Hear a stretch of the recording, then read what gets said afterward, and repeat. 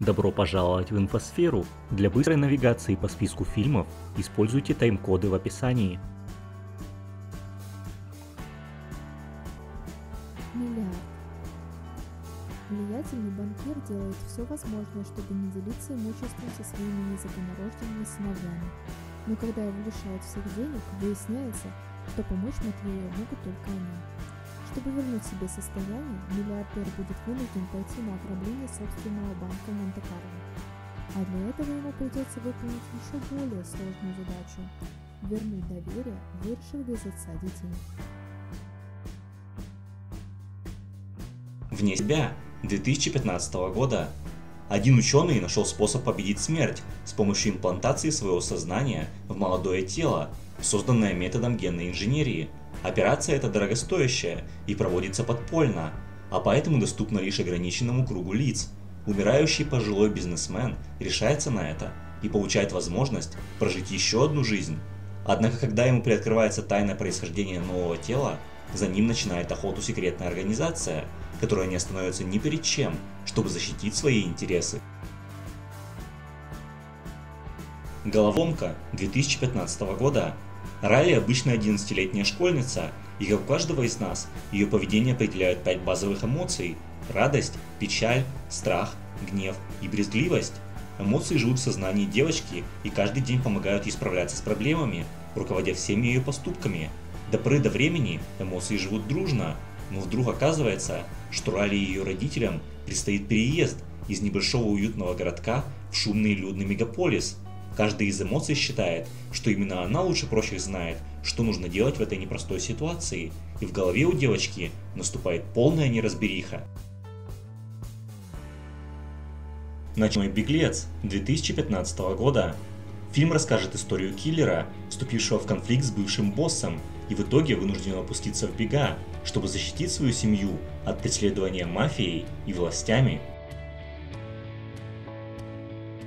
Уик Джон Уик, бывший наемный убийца, ведет размеренную жизнь, когда преступник крадет его любимый мустанг 1969 года и попутно убивает собаку Дейзи, единственное живое напоминание об умершей жене.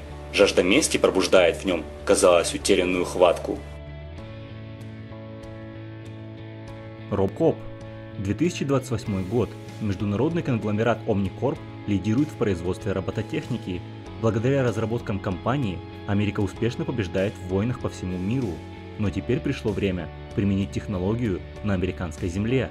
Алекс Мерфи – любящий муж, отец и отличный полицейский, оберегающий порядок в Детройте, получает на службе смертельные ранения. Малавита 2013 года. Что вы знаете о своих соседях, особенно о тех, которые заявляются среди ночи? Так, Однажды на тихой улочке провинциального французского городка поселился писатель по имени Блейк со своим семейством и собакой Маловитой. На этом многовековое спокойствие города закончилось. Почему сгорел местный супермаркет? Чем рискует медлительный водопроводчик? Что лежит в рюкзаке у милого парня в бежевых бриджах? Кто бы мог представить, что на самом деле мистер Блейк – бывший глава мафии, которого власти прячут здесь от преследования? И вот в городок приезжают люди Коза Ностры, Фантастические твари. Преступления Гриндевальда.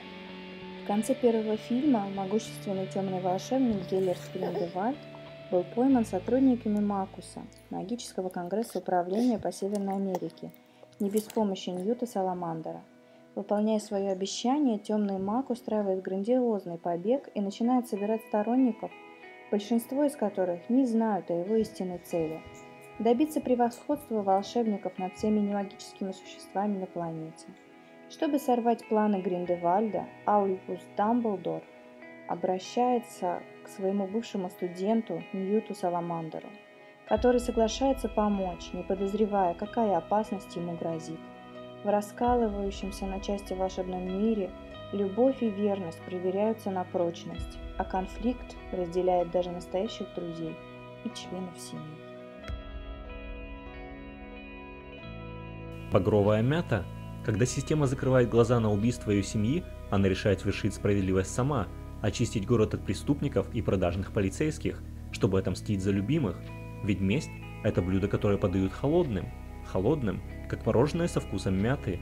которая так любила ее единственная дочь.